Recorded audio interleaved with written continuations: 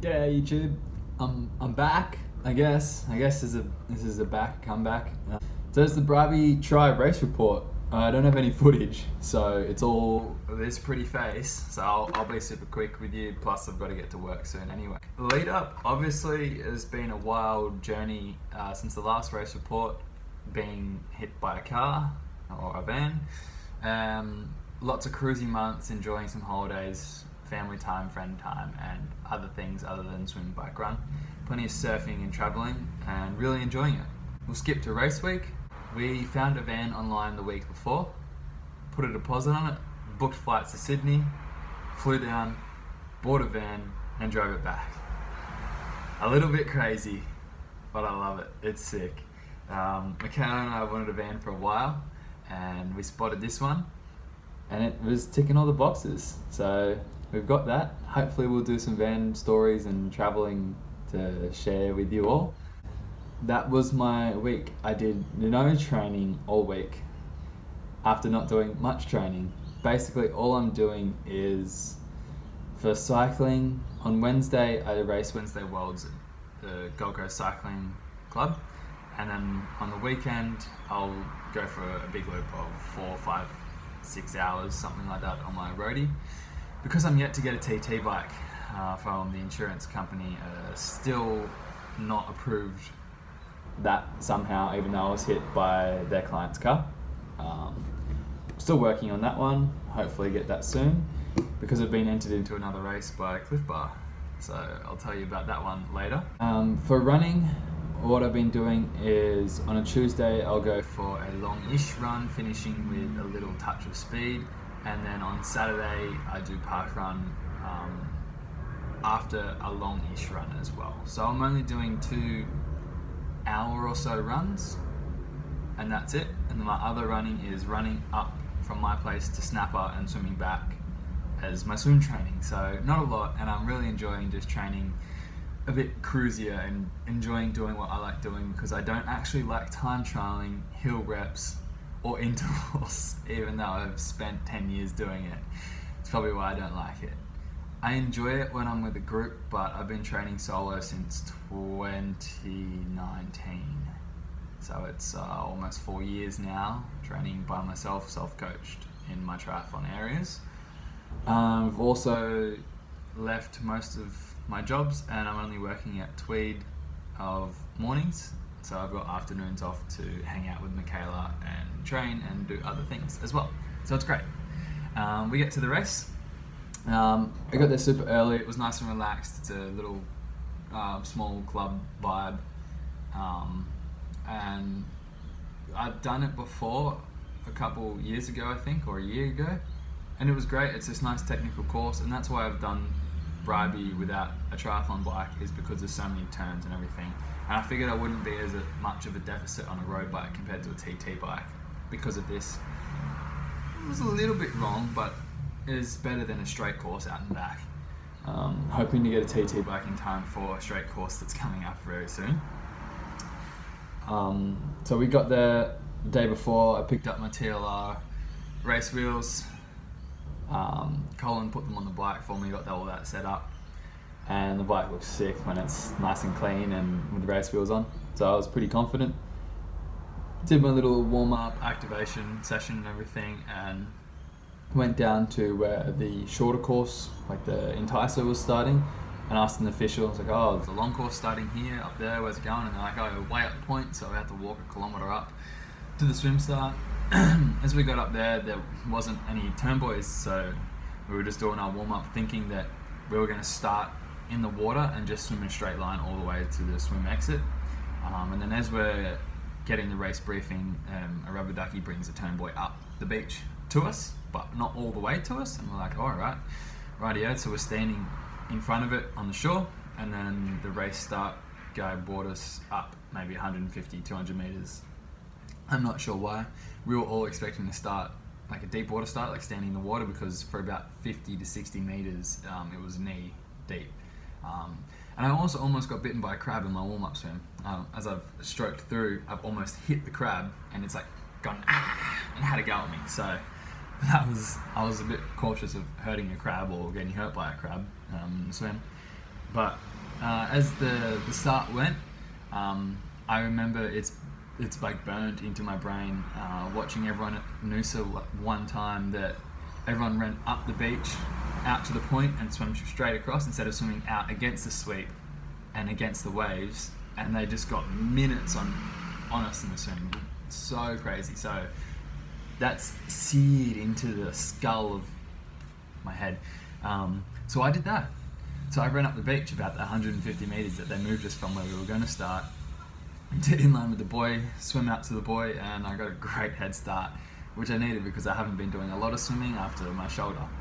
Um, I didn't know where I was at, so I've done that and got a handy little lead. I was quite puffed and settled into my own tempo, which was really good. This was kind of what I wanted. I've been enjoying doing my own tempo swims rather than hard intervals. Um, I'm also not swimming in pools anymore because I don't like chlorine at all. It's actually quite harmful for the human body and I just put up with it for a while. Now I'm not. Um, doing everything I can to refuse swimming in a pool. I'll swim in the creek and the ocean as much as possible. Uh, about halfway through the swim, Nick and uh, Michaela Nessa passed me, and another guy was on my feet or just off.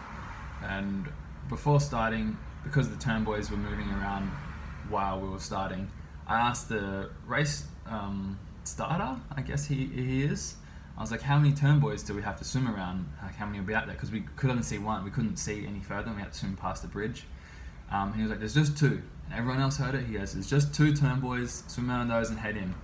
So we get to the second turn buoy um, on Nick's feet, and we turn in to go to the shore.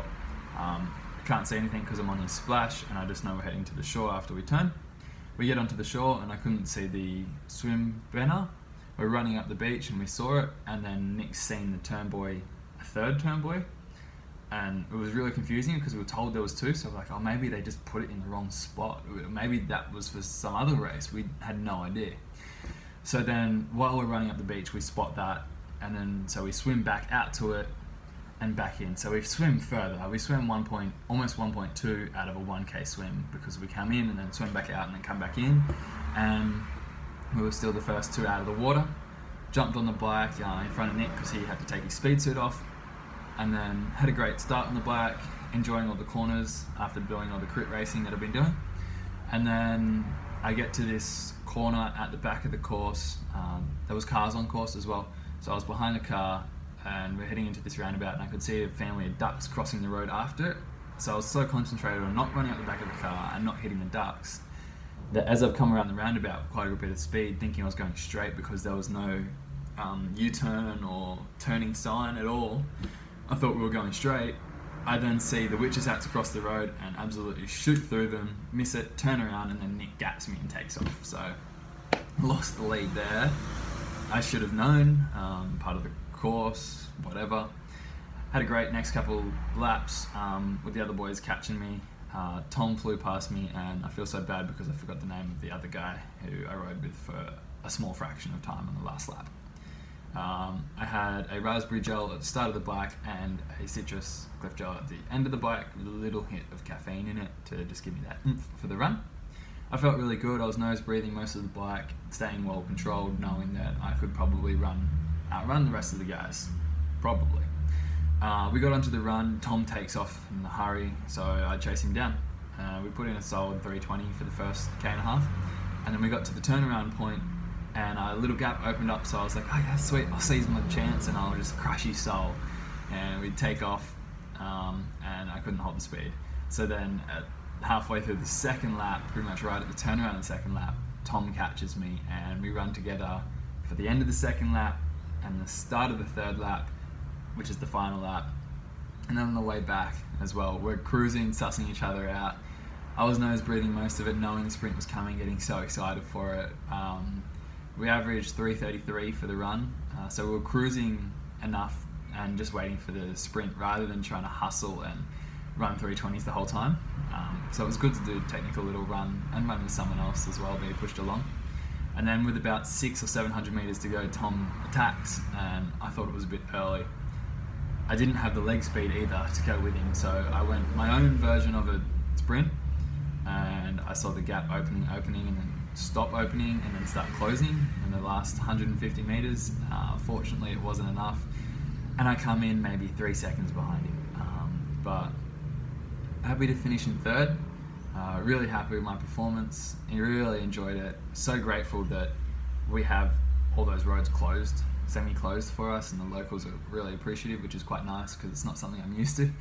Um, but Nick, myself, and the guy whose name I can't remember all got disqualified um, because we come in after the second buoy as we were told to do.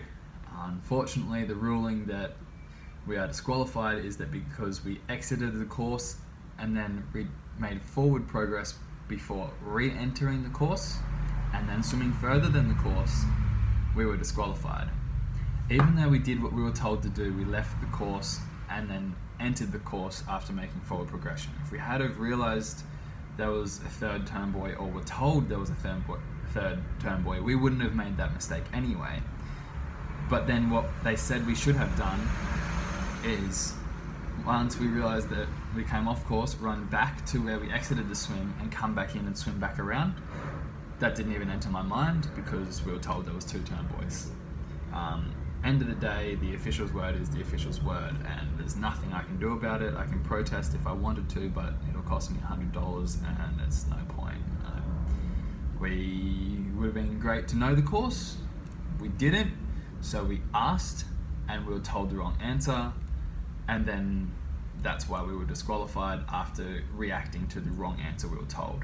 Um, obviously, stuff happens. Um, it would have been great not to be disqualified we had enough of a gap between fourth place. It wouldn't have made any difference in the outcome of the race at all because we actually swam further than what we needed to. Which is a real shame to start back racing with a DQ after my last race was a DQ for the same thing, turning around where I was told to turn around and run when it was the wrong turnaround. Um, it's the only thing with little local races is that the officials don't always know what's happening, um, and we're meant to. And then if we're not sure, we ask and we get told the wrong thing, which really sucks when you're trying to make a little bit of an income out of it and do it professionally for sponsors and everyone else. But it's it is that, and I'm just really happy to be racing again and feeling really good. So next up is a race I've deliberately never done before because it sounds absolute hell and horrific. And that, of course, is Hell of the West. Um, Clif Bar are a major sponsor of that and asked if I would like to race in that race as a Clif athlete, and I said yes. I don't have a TT bike, I don't handle the heat well, I don't like being away from the ocean, and it's the race is out at Goondiwindi. It's about six hours drive straight west of where I am right now in heat. We swim in murky water and it's a 40k out, 40k back bike. So I'm hoping that insurance gets their stuff together. They're able to get me that bike that their client broke by hitting me a van with their van. And I can race on a TT bike and feel quite comfortable. I'm going to race this race in my own comfort zone, not be pushed too much, but with a $21,000 prize purse, I'm going to be pushed well outside my comfort zone. So more to come on that at the end of March. Hopefully I get there, hopefully I'm able to race and have a good time. See you guys then. I may even see you guys sooner because I'm racing a trail race this weekend at Hinze Dam and going to try and win.